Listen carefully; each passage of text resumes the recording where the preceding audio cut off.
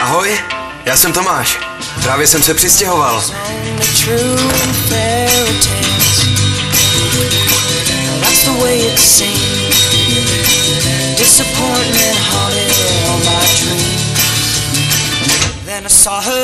Quisiera una taza de café, por favor.